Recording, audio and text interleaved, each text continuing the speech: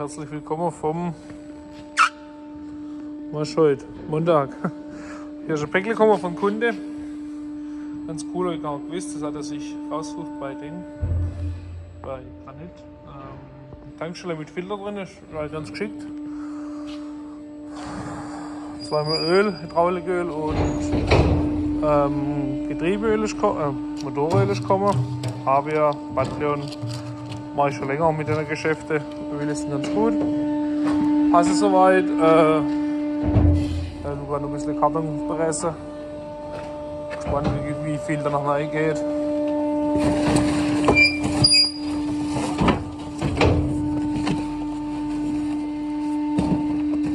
Das ist ganz geschickt, dass wir da jetzt schon das Karton abholen und mit Bagger drücken und so weiter und so spart hätten.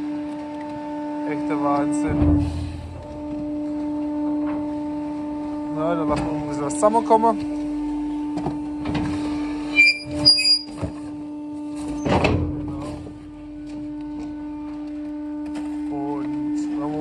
Braucht oder sowas dann zum rausholen oder so. Ja. Ähm, was wir morgen machen, wird hier der Bobcat-Bagger sein. Kundendienst und Kette tauschen. Ich war den ganzen Tag im Büro, der Basti war unterwegs für Wirtgen. Fertiger und Zylinder abdichtet. Ähm, ja, und morgen ist er beim Wolf Miller. Von dem her immer was los. So viel mal zum Montag. So, Servus Hi vom äh, Montagabend. So, bei meinem anderen großen Hobby, gerade bei großes Hobby, Dresche. Ähm,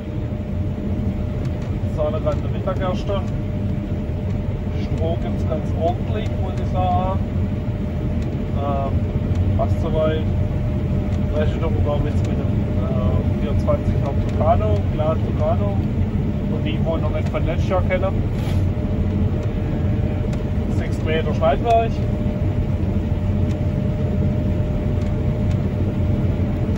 Käse hat, weiß ich glaube 220 und 240 Liter habe ich glaube ich Mercedes-Motor. 5-Schüttler-Maschine.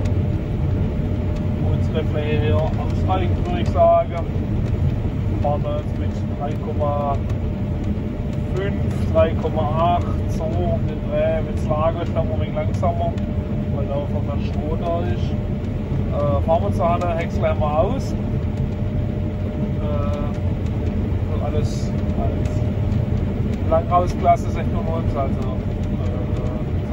Ballermacher oder Eifahren oder wie auch immer. Als Eistreu. Futterzugabe in Goldstromweit hätte ich ganz gut, so wie es aussieht. Goldgelb. Äh, tut's. Ja.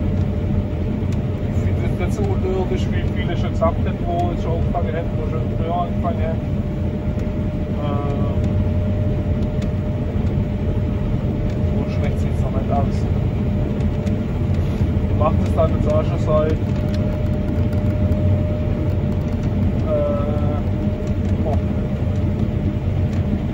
14, seit ich mit 14 bin oder sowas mache ich das dann jetzt schon.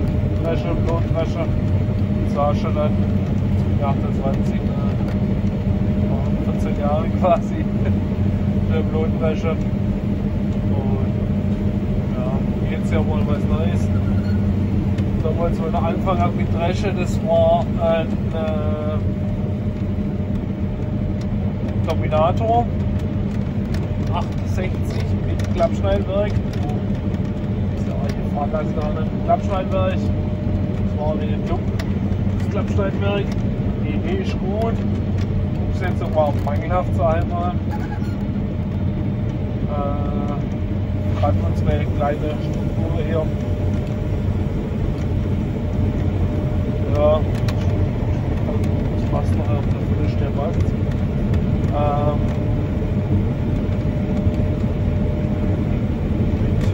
und er ist schon nach seinem Mercedes-Motor kenne ich glaube, dass der Mercedes-Motor kennt. Normalerweise hat er Motor direkt in dem Nacken.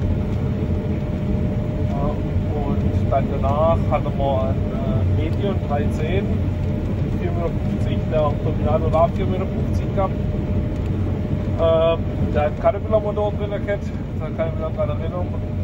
Erster oder zweite Tag, wo wir dann alle Einspritzleitungen verbogen, irgendwie nicht sauer festgemacht gewesen, oder übermacht, immer noch geschraubt und, und ja, war echt interessant. Mit dem bin bis jetzt Jahr am meisten gefahren mit dem, mit dem Medium. Dann haben wir dann weg und jetzt haben wir glaube ich die sechste, vielleicht sogar die siebte Saison schon. Hier mit dem äh, Giucano. Ich muss sagen, läuft wie Uhrwerk. Schön ruhige Kabine mit dem Motorenkreuz drin. Man sieht, was quasi vom Tank rauskommt. Er könnte ein bisschen mehr Durchsatz haben für Stroh, also wenn man quasi Häcksel und viel Stroh hat, merkt man, dass man an der, an der Schüttler quasi Schüttlerweichungsgrenze ist. Aber ja, das ist meistens so. Äh, dafür ist Stromweite sehr gut, finde ich, oder wie ich finde. Ähm, und die Brustweite kann ja überhaupt nicht sagen, das ist mit dem, mit dem äh, APS-System, glaube ich, mit dieser Vorbeschleuniger-Trommel. Und die macht doch mal ganz schön was aus wenn ich ehrlich bin, das hat der Medium nicht gehabt und der war viel rumpicher und viel hat man oft gemerkt, dass der dann Rummel mal leer hat. Weil halt das Getreide relativ langsam kommt und so die vorgeschleunigte Trommel. Ich weiß gar nicht, wie viel die vorgeschleunigt, aber man merkt es auf jeden Fall extrem. Ähm, sieht das schon leicht noch in diese Richtung. Und äh, da mein Hobby Bio-Landwirt und Land, sagen wir, kein Einsatz von Düngermittel und äh, für die Gentechnik einsetzt, ähm, haben wir relativ oft Distel und halt auch Kilogramm mit dabei. Das bekommt man ab und zu auch in den Griff mit Hacker und Striegen. Äh, genau. Und dadurch hat man schon eine, ein oder andere Doppelwickler gehabt in den Medien. Aber ich muss sagen, an dem äh, an dem Tucano hier habe ich jetzt so viel Trommel gefahren der war ein bisschen anders mit der Maschine hier. Man fährt viel, viel langsamer. Der Medien äh, ein bisschen schneller gefahren, wenn man schon 6, 7, 8 km/h mit so Druckabelzustand ist. Dann hat man quasi, war der begrenzte Faktor war das Schneidwerk. Im Endeffekt, weil das einfach die Messerhübe ähm, die mir noch gemacht hat.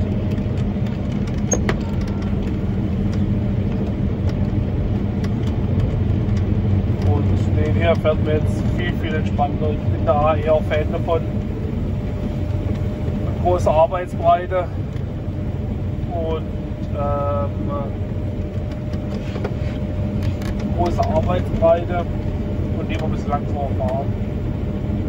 Hat jeder seine eigene Philosophie. Genau. So viel mal hierzu.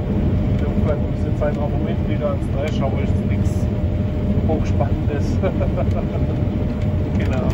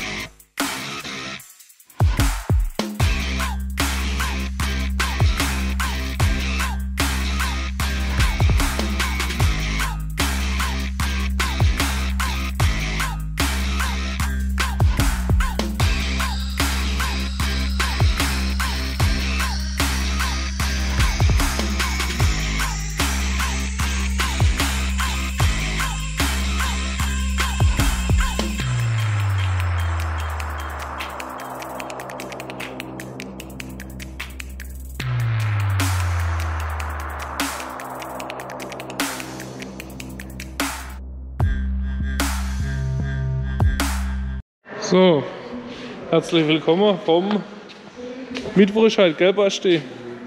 Wir haben halt den Zettelmeier Radlader reinbekommen. Gestern haben wir ihn abgeschleppt. Macht keinen Muxer mehr, also fährt nicht mehr vorwärts, nicht mehr rückwärts.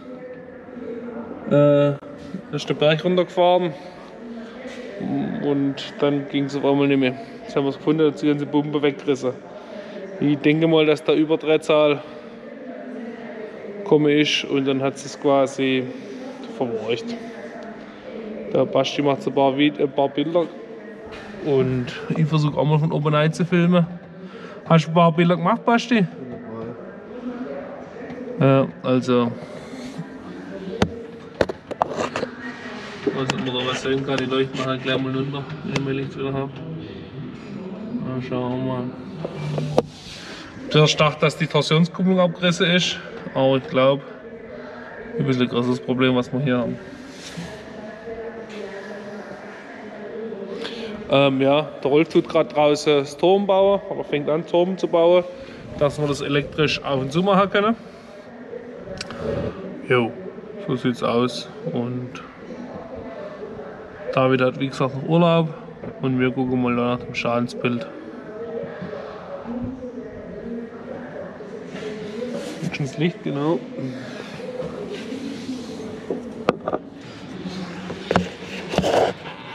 Ich weiß nicht, ob man das sehen kann von hier, also ich glaube schon, ja, doch, das sieht man. Krass. So viel mal hierzu.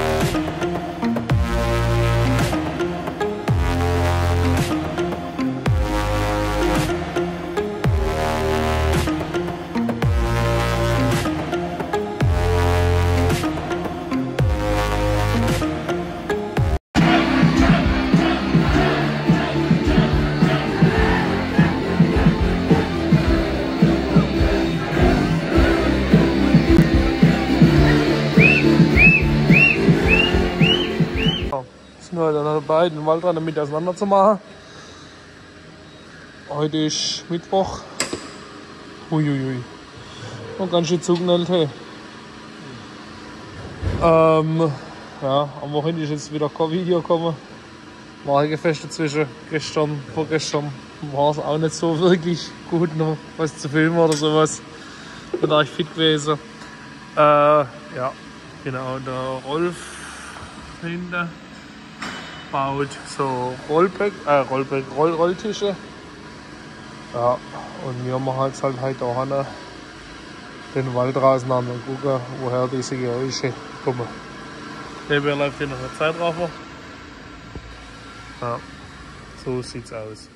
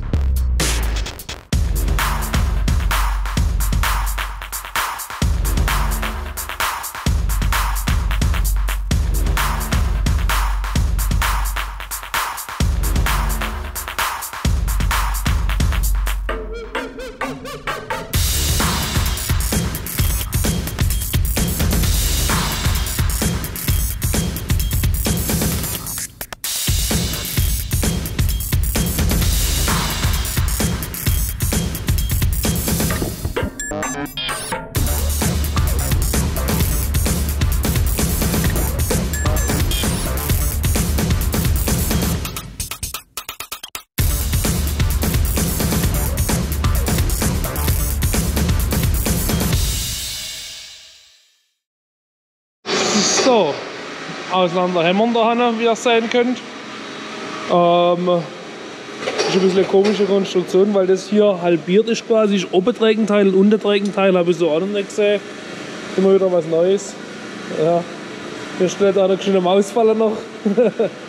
ne, dass wir quasi Krane wieder benutzen können. Ähm, jetzt ist aber so. Machen wir einen Gang raus, David, wieder. Also zum einen mal, wie man hier sieht, Das ist, denke ich mal, Fritte.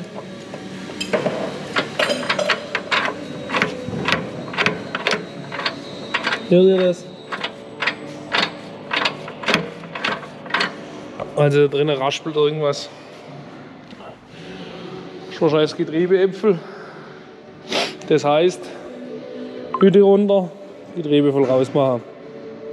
Ja, alles andere. Das ist erstmal im Kunde abklären. Ähm, ja, der wird hier auf jeden Fall noch zwei, drei Tage stehen. äh, was wir jetzt mal noch machen könnte, David, wäre seitlich, da wo die Schaltgabeln reingehen, äh, Ding, das mal runter machen, aber wir müssen mal gucken, wie das aufgebaut ist und alles. Und ja, wir halten euch mal auf dem Laufenden. So ist. Dankeschön, bis hierhin nochmal. Herzlich willkommen vom äh, Donnerstag. David macht die nächste Rittelplatte. Der Rolf da hinten ist gerade am Schweißen. Ähm, der baut so Anfahrschutz. Genau. Basti ist heute auch da. Der moderne Fehlersuche nach diesem äh, an dem Fender haben. Macht Klimagerät macht da Probleme, oder Klimaanlage. Ähm, wir haben unten am Kompressor haben wir 12 Volt Anlieger, aber kein Strom, also keine, äh, keine Spannung. Ähm, haben jetzt da hochgemessen und oben einem Steckkontakt haben wir auch gemessen, da kommt Ausspannung an, aber nicht genug Strom. Ich vermute, dass oben im Dach, war die Messspitze noch, ich vermute, dass oben im Dach ähm, der Probleme macht. Das, äh, äh, die Klimabox dazu. Ha? Aber runter. Kannst du so ausgucken. Äh, wir vermuten, dass da quasi oben das Steuerproblem hat. Halt mal, halt. Ja, warum stimmt, das ist gerade Strom ist runtergerutscht. Ähm, hat sich schon wieder. Ja, nochmal her alles. Und ah, Schraubenzieher entstehen. Schmeiß das alles da rein. Ja, und mir vermutet, dass oben die Box einen Batscher hat. Aber das, das schauen wir dann, wenn es soweit ist. Ähm, dann ist heute der Kabelbaum gekommen, für den. Da Gucci endlich. Schauen wir mal, wie wir das noch bekommen. Aber müsste mal auch schon gehen. Und dass wir die Kabine runter montieren müssen und so. Und mal anfangen damit diese Woche, dass das was wird. Ja. So sieht's aus nämlich. So, wir haben aber ein Marder am Dach. ähm, hier oben hockt das, wo hockt das Basti? Hast du gerade in der Hand, oder? Da. Das ist das Steuergerät für die Klimaanlage. Wir haben jetzt hier an dem Ausgang Pin 4.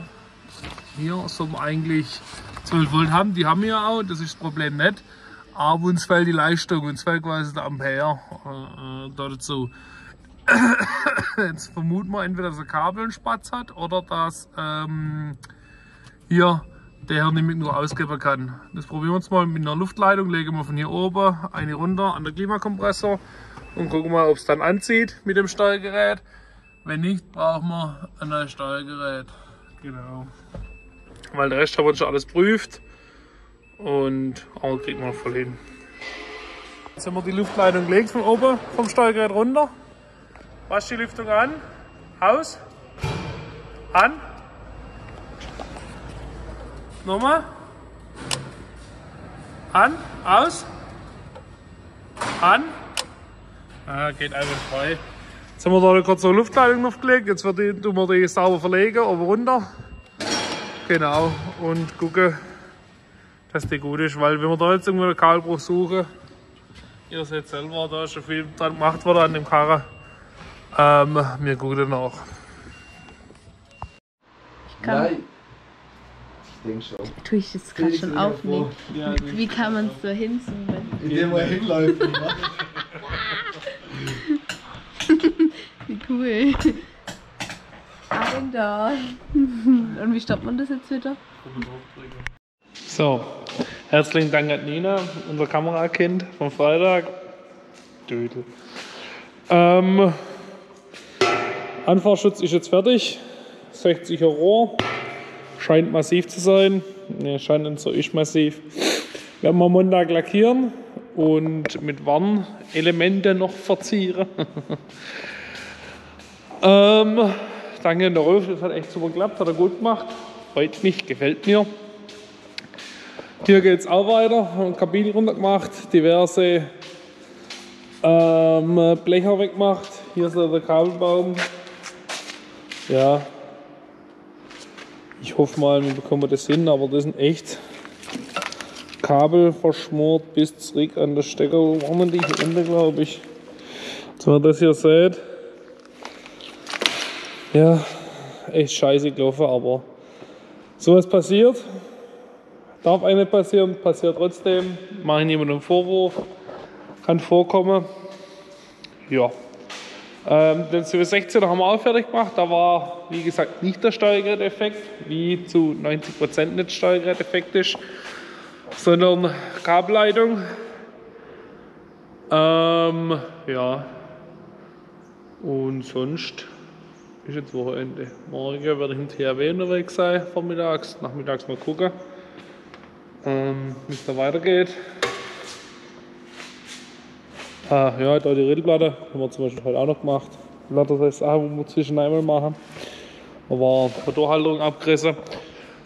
Wie einmal zwei, drei Reifen zwischen wie auch immer. Kommt immer so was mal vor.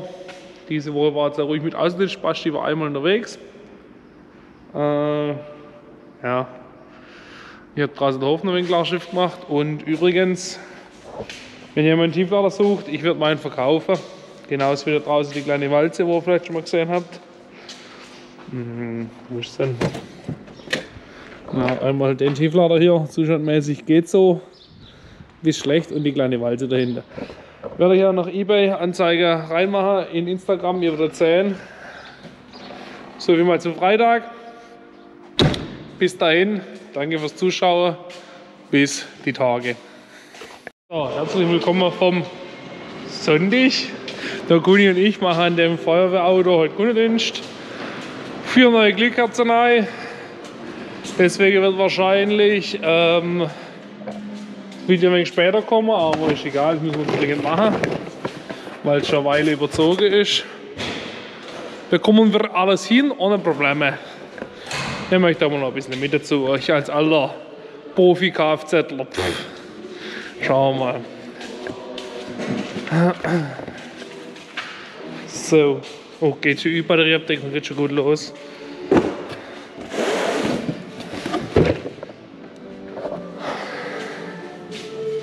So. Also wie ihr seht, sieht ihr nichts. So, erste Zündkerze, Zündkerze, Zündspule, Zündspule.